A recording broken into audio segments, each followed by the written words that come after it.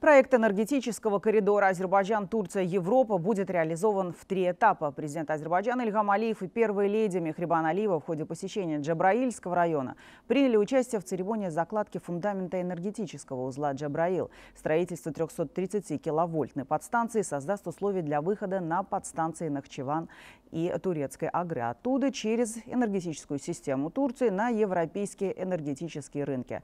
Кроме того, подстанция Джабраил подключит Нахчеванскую автономию автономную республику к общей энергосистеме Азербайджана, интегрируя с гидроэлектростанциями Худафярин и Гызгаласы, а также солнечной электростанцией Бипи Джабраил в общую энергосистему. На первом этапе будут расширены и полностью реконструированы расположенные на ближайших к освобожденным от оккупации территориям 330 киловольтные подстанции Акджабеди и Мишли, срок эксплуатации которых уже истек.